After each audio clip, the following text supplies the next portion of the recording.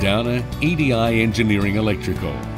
This massive project spanning two buildings. The north building saw Downer working above the existing fully functioning Royal Melbourne Hospital, including operating theatres and emergency department.